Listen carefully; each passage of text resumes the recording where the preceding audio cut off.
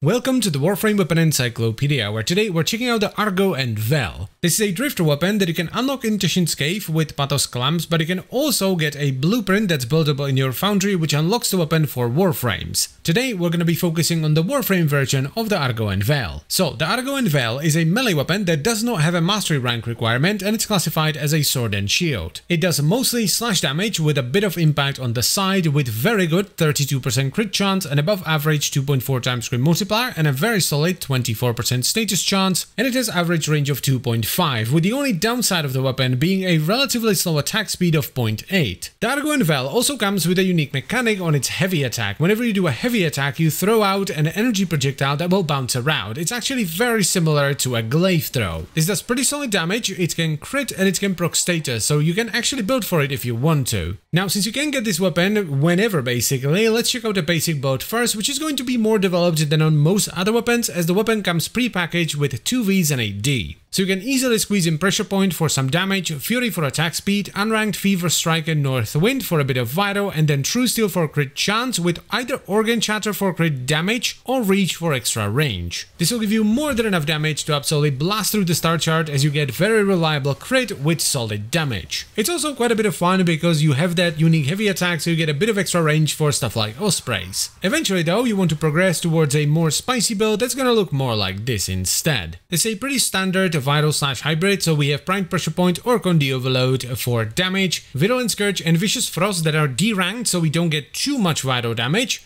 Berserker Fury for attack speed, then either Primed Reach for range, which is really good for sword and shields because their attacks are very flaily, so extra range helps you connect with attacks more reliably. Or if you're not running Arcane Strike, you could double down on attack speed here instead. And we top it off with Organ Shatter for crit damage, as well as Weeping Wounds and Blood Rush, so we scale our crit and status as we build our combo counter. This catapults the weapon straight into Steel Path, as the damage it can do with a setup like this is absolutely disgusting. You're gonna be bonking enemies left, right and center, leaving behind pretty juicy slash procs as you do so. This weapon is just really strong, especially for something that you can pick up at any point in the game, basically. You know, 300 base damage, with awesome crit and more than good enough status, it's just really good. Plus it's pretty easy to get, like the only thing stopping you from getting this is the Orowyrm boss fight, which isn't all that difficult. Outside of that, the build requirements in the Foundry are pretty tame, it's just a handful of various Duviri resources. Yes, the attack speed is below average, but honestly, sword and shield weapons have pretty fast animation, so it doesn't feel that bad even with just Berserker Fury,